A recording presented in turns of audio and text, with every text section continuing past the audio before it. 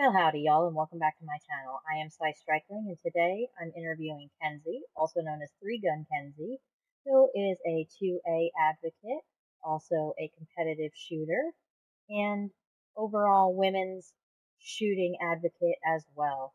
I'm super excited to show you all this interview, so let's get right into it. Well, thank you so much for taking the time out to do this with me. I really appreciate it. I know you're super busy. oh, I appreciate it. Take too much of your time, but I appreciate it. Yeah, of course. Mainly, what you know, I wanted to talk about today was just like a brief overview of of Kenzie. You know, um, so when I'm looking at different things, I know you do a ton of competitions. Um, what would you say got you into competitions? I think I've always been competitive in nature just because I grew up, gosh, playing volleyball and soccer and softball. And I just, I love sports. And going into college, there wasn't really a lot of sports at a high level. Like there's intramurals, but you know, the, those are just kind of fun. Not everybody's really good at sports. So I had Googled like FSU um, and firearms at a point. That's where I went to college. And they had a, a rifle team, they had a pistol team, and they also had a skeet and trap club and stuff. And so honestly, it was like signing up for the first match the addiction set in. It wasn't something where I thought I would ever be here. I didn't know about half the sports I do now, right? And so it was just sort of, I think, natural. awesome. Did you um was that your first introduction into firearms in general or had you um had been shooting? Yeah, I grew up with uh my dad and grandpa and everybody used to hunt and fish and shoot and so like I've always been around firearms. It was just part of our household and part of our our growing up, which was really a blessing. Um, we grew up with shotguns mostly, duck hunted. I'd never deer hunted till I was an adult, but yeah, so firearms was not new to me, but it was something where I really didn't have a lot of time behind handguns. Um, we shot a lot of revolvers, a lot of little 22s and stuff, which was really cool, but yeah, handgun was a whole new world. Awesome. Uh, so what kind of competitions are you um, doing like nowadays? Like what do you what do you uh, try to steer toward? Yeah, so my primary obviously is going to be three gun. There's not enough three gun left in the country. There's not enough like monthly matches, but um, three gun is my passion. It's so much fun to plat to run and gun and master all three platforms. Um, and then the other thing that I'm really addicted to now is AK matches. Um, I got to go to Kalash Bash for the first time, and then I did AK Masters. I'll do Winter Motherland. so I think AK stuff is fun because the people there have a different vibe. Um, they're dressed up in plate carriers, they're dressed up in costumes, they look like Hawaiian dudes. Like it is so comical because it's kind of like people watching. Um, but it's a lot of fun. So for me, like shooting is supposed to be fun. Um, and the people really bring me to it. And next year, I'll probably get back into the precision rifle series. I really enjoy doing that. I just don't have a lot of time now to compete, unfortunately. Absolutely. I can imagine how busy uh, you always are. Um, what would you say is like one of your favorite firearms and maybe one of your least favorite? I am so biased. Um, oh god, one. Can I pick two favorites? Yes. okay, okay.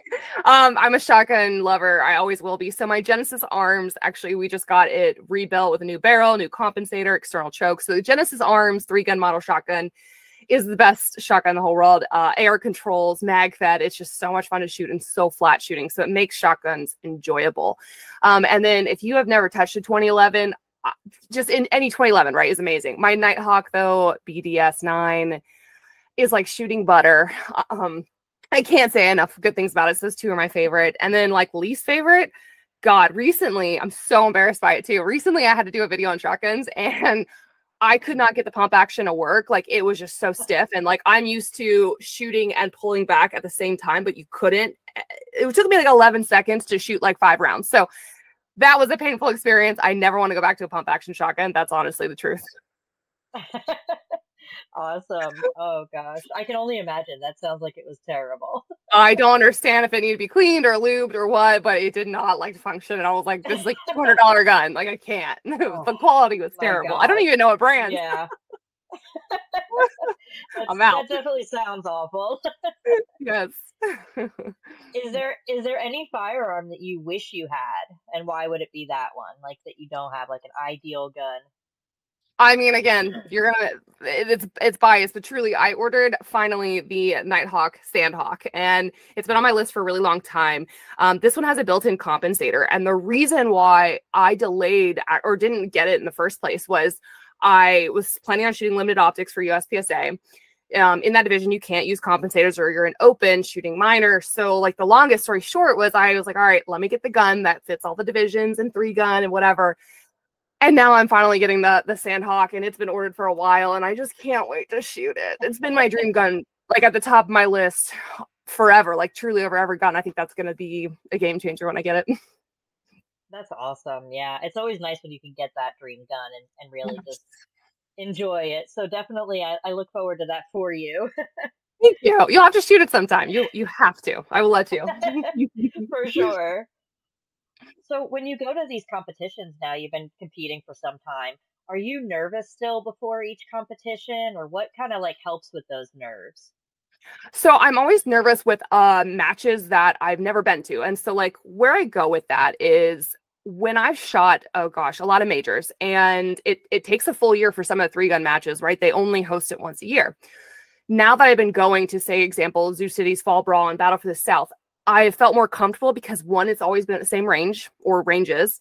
Um, I always know what to expect. I know how to prepare for it. I know kind of what stages they're going to put on the ground. And so I get less nervous knowing the range, the city, the match director, like all of that, right? So where I get really nervous, and I did like not even, yeah, I would still say nervous. It's like Kalash Bash. I had never been. I've heard about it. I was so excited to shoot it. And it was just kind of a new environment too for me. So that's kind of why. And I don't think nerves ever really go away. I think it's just more of those um like expectation management. The people that have a lot of nerves are probably putting too much pressure on themselves because they expect that they're going to do really well. And that's kind of like when I shot my very first PRS match. I was so nervous just because I'd never shot the gun, never shot a match, had no idea what I was doing. And so I think that's really fun is once you get past what you like knowing what you you know and how to do stuff, then it gets less intimidating. So hopefully that helps. Awesome. Yeah, for sure. Um, now, have you had any kind of like special training in firearms or is everything just kind of self taught? Yeah, so I did my very first class. Um, I want to say tw- 2019, and it was with a couple of my buddies and I. We did a private class with Joel Turner Jr., who's on the Army Marksmanship Unit team, and so that was our first kind of, or my at least my first class I took on three gun and mastering at the time um, i shot irons and i shot a tube shotgun because i was still in that tac ops division and so that was really enlightening for me to actually learn the better way for me to load a shotgun um, and so that was i would say not really formal but it was a very very good class and then after that um, i kind of went some more defensive route which i think is really important for competitive shooters like we know how to holster and unholster. We know how to reload. We know how to manage the, the pressure. It's probably not going to be the same in a self defense scenario. Um, but I went to where our families train, which is WAF down in Orlando, Florida, and I got my very first taste of low light and sim training, and it was very, I would say, nerve wracking. Um, I actually cried during one of the simulations because the guys know that I carry every day, and they forced me to like use use my firearm. And it was something where I don't want to do that. It's not something I ever want to do in real life, but it's also it's crazy to me, but not. But like in, in a scenario, I know it's fake, right? But in the moment when you're put to that, it, it doesn't feel that way. Um, I've been to Gunsite once. I'm going to Gunsite actually here soon. And so again, those kind of training in a different way uh, with concealed carry garments and smaller guns and all that has just been really, really valuable. So I always take classes. Um, I've take, taken classes from Travis Tomasie and Mason Lane, and I I want to do more. And I recommend this for anyone listening on this on this episode. You know, go get training and especially if it's outside of your comfort zone like don't just train on what you're good at what you like. Go train on what you don't like. Um i went to thunder ranch this year and did a shotgun course and i can guarantee you there is not a lot of people that know how to load a shotgun one-handed on the ground sideways. We shot out of a truck tailgate which was impossible behind barricades. I mean it was amazing right? But it's stuff where like that is totally out of my element and i love it. I'm grateful for it. So yeah i do i do a lot of, of classes if i can Awesome. Yeah, it's always good to kind of, you know, hone those skills and, and learn new skills. So definitely an awesome thing to keep to always keep training. Now, yes, do you uh, also? Oh, sorry. for sure. um, now, do you also teach classes? So I used to teach a lot of the concealed carry permit classes. I did that in Florida and I did that in Tennessee, and I'm glad for it. But a lot of states that went constitutional carry kind of lost that requirement, the need for the classes. So totally understand. There's still value to handgun permits for anyone listening. Depends on your state, but if you don't know, there are some states you can't open carry, you can't constitutional carry, right? And so having that permit that reciprocates with other states is really valuable. And so I think people lose sight of that. Um, but I do some private classes maybe twice a year now. Um, I've done some for like a girl in a gun groups and stuff like that where they want a class on actually moving and shooting, actually reloading, using their holster, like what have you, where the concealed carry classes don't teach you that. They don't teach you how to use your gun. They don't know how to move and shoot or reload or you know, some women come come to me and I'm like, I need to learn how to draw it on my purse, and they find out they can't do it. They don't know how. That's the wrong gun. You know, the gun malfunctions, what have you. Um, and then every year, I think you saw that. I know we missed out this year, but next year is because you're amazing. Got to have you uh, come fo- uh, photo everything is the Gals at the Range. So I do an annual 100 women event in Knoxville, Tennessee. Pistols, rifles, shotguns. We blow up tannerite. We shoot ballistic dummy lab targets. We we have a good time. So I, you know, this year we had the machine guns and the 50 cal out, which was a huge hit. so yes, I do teach when I can. Awesome. And you mentioned, of course, Gals Day at the range. Um, what got you started hosting that? I was frustrated by the lack of kind of like female community or like community where it wasn't male led, which I'm I love the guys that I've learned from, right? I love the guys that I've trained from. So not saying anything against them. It's just a different, I feel like feeling when you're not around the man that maybe like you've married or you're interested in. There's this unknown pressure that you kind of put on yourself. And I've seen that with every every woman that's been married. Is like she loves her husband, but she also wants to perform in front of her husband, but she doesn't know how. She's never done it, right? So separating that out was kind of like what I saw as a value. Um, and then having moms and daughters come out, I had that happen. I've had three generations of women come out. So that very first year was more of just kind of like, hey, let's get women together. Let's separate us from the guys. Let's see what we can do and learn and accomplish together. And after that, it was so rewarding. And it was just such a good, safe space for women that I just kept doing it. Now I can never stop. I've done it for five years. That's awesome. Yeah, it definitely seemed like a great event. You know, I, I wish I could have come out, of course, but uh, next year for sure. next year, love to have you. Absolutely.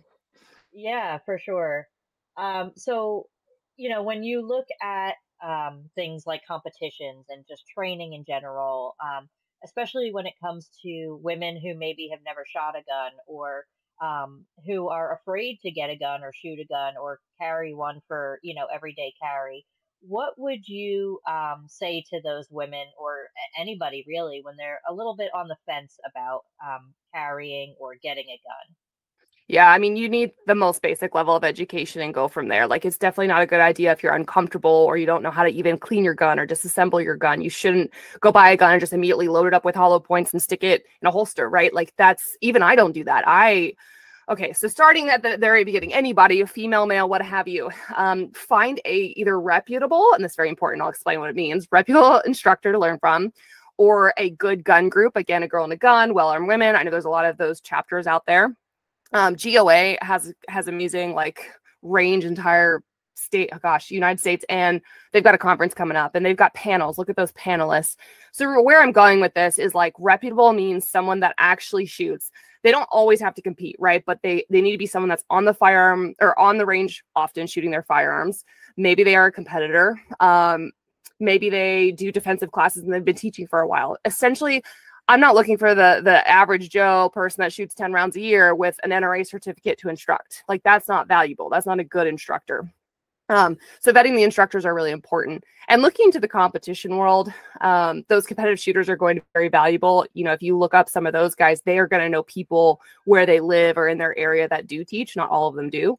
Um, and then just I, I honestly believe this. I would just avoid some of the gun shops and some of the stores because they're not there to help you. They're there to sell you whatever firearm they have on the rack that they haven't been able to sell. They're trying to sell the used gun, right? Like they're not, and a lot of them are not knowledgeable on firearms, to be honest. Um, so yeah, I think just looking into the community, whether it's on social media or YouTube or eh, you will know someone, right? Just find that person. Like you've DM me on Instagram. We've never met. Now we're doing a video, right? Like how how more people should do that and reach out to those people and and start with me. If you're listening, hey, like I can help you. And if I don't, I, you know, know someone, I know know someone that knows someone that knows someone. So we're we're a, a small and a big community that are here to help. I will say that. Yeah, for sure. Yeah, it definitely. I mean, the the firearm community in general, um, women's groups, all of that. There's such a um, closeness, even though people are, you know, all over the country, and it seems like you know everybody's there to help everybody. So definitely a, a warm community feeling for sure. Absolutely. Absolutely. Um, now, how has your like networking changed over the years? You know, from when you started out with competing and you know how has um, competing and, and training and all of that helped you kind of grow yeah so i mean what a lot of people don't know is the the good brands the right brands um, the companies out there that support shooting competitions actually shoot the firearms that they sell, the ammo that they sell. They actually compete on a larger circuit. And so when I started out, I had no idea. Like the one of my marketing clients I've had forever, Hunter's HD Gold, I met him on a shooting range. We ended up taking an RO course together and we just started getting connected that way. Um, back in the day, like I've, I've never worked with them, but like Staccato, um, Tony used to travel to all these matches and set up, and that's how we kept in touch. And the guys from Federal Ammunition, like they actually came out and competed. And to be honest, I don't know if you know this or not, but there's um like a, a just incestual thing in the firearms industry where if one company has an employee there the next day they're at another gun company. They literally shift around but they never like leave. So all of these things that i went to on the competing side was really valuable but also like showing up to the nra annual meeting which is you know annual free to the nra members. It was a great place to go and, and network. Um, obviously i started getting into shot show with everything that i have credential wise and that's a different ball game if someone's wanting to get in and they start writing or publishing on YouTube or what have you, then typically or start a marketing firm, you know, you can get in that way. Um, but every single opportunity that I can, I, I, go to. Like the goals conference is literally in Knoxville and coming up here this weekend, and I'll be I'll be at that event. Um, and it's stuff that I I spend my own money and time going. Like I don't get paid to go to these things. I'm I'm there showing up, showing people that I care about our our gun rights. I care about the competitions. I care about sponsors too. Like a lot of people don't know how much money some of these brands pour into matches and they don't get a big ROI. And we should be supporting these companies more because they give back. And so those are the people I really want to go thank and shake hands with. And I, I love supporting those folks. So yeah, I think just for me, it was showing up, investing in myself with time and money, going to these things. And it's paid off when I don't go to look at it like what can I get out of it out of me or what can I get out of it for me, right? I, it's not a selfish thing. It's it's something where I don't expect that at all. I actually want to see what I can give to others and help them out. You know, I'm in the women's fashion show this weekend at GOA. Not something I love to do, but I will help them out. so um, that kind of stuff is really important to me. That's awesome. Yeah, it it sounds like it's it's a really good um, again, it comes down to community and, and meeting those people and really having that strong community. So awesome. Um, now, outside of like firearms and shooting, competition, things like that, do you have any other um, hobbies or anything that you enjoy doing in your off time? Yeah, so I actually turn a lot of my um, gun and shooting trips into like hiking and backpacking trips. Every year, I'd go out to um, Idaho for an event, and I end up going to the Smoky Mountain or the Yellowstone Park, and um, Oh my gosh, why did I just mind blank? Tetons. Wow, Tetons, most beautiful place ever. And then of course I have the Smoky Mountains in my backyard. So I love hiking. I love going up to LeConte and stuff. And and even when I went down to um, Alabama, I think it was CMP for a major match. I went to the Pinhoti Trail and did that. It's pretty flat trail. But I've been hiking in eh, my whole life. I, I love being outside and I love the quietness of it. Um, and then the other hobby, which is like I feel like on a nerd level, but I read a lot of books. Like actually this weekend, I I did take time. I shouldn't have, but I was so tired. I read two books in two days was like, okay, and I'm done. so those are rare moments that I get to do that. I'll read on airplanes and listen to podcasts. I feel like those are good hobbies, but anything around stimulating the mind and not just sitting there kind of doing nothing is important. Yeah, absolutely. That's awesome. Well, um, I mean, that was really all I had today. Was there anything else that you wanted to share, um, or that you know you wanted to talk about? Um, you know, I just say uh, I I would love that everyone has these rights to own guns in constitutional carry states. I love that a lot of people can go buy a firearm, you know, long guns specifically for sure, you know, because they can get it and leave the next day or the same day. Um, some of these, you know, handgun checks might take days if you don't have a permit or what have you. But where I'm going with this is I don't want more legislator. I just want more people to take responsibility of firearm ownership and realize that that tool is a very, very, very powerful tool um, I don't really use the word weapon a lot, even though anything could be a weapon, right? But that firearm you need training with, and it's not a once a year or one time only, right? It is something, and the, the classes, the handgun permit classes, that they do not count, guys. So when you buy a gun, realize, hey, I need to probably put 500 rounds through this in the first, you know, couple months or what have you. I probably should do ongoing education. I probably should treat this like practice driving a car. Um, you know, whatever your like perfection is, you know, we all take classes or certificates or ongoing education. Why are we not doing that with our firearms, right? So that's where I really want to leave people with is take ownership and responsibility of that and actually go get training and do it often. And if you even see me like at a higher level of competing, I still take classes. I still am that student. If you stop being a student, you really stop growing and learning. And I think that's a very scary thing. So um, I recommend taking classes, getting out there, practicing with your guns and getting more proficient at them. Clean them yourself, maintain them yourself. You know, malfunctions are good. Clearing them is a good lesson. So that's what I want to say. awesome. I really appreciate it. And I think those are great lessons and, and great tips for everybody. Um, thank you so much again, Kenzie, for doing this with me. I really appreciate you taking the time. Um, I'm Good. super excited to, you know, get more involved and, um, you know, hopefully we can meet up at some point. I would love that. Absolutely. We have to. Thank you for your awesome. time. Thanks for having me too. Absolutely. Well, I hope you have a great rest of your day and thanks again. You too. Appreciate it. Take care. Thanks. Bye bye.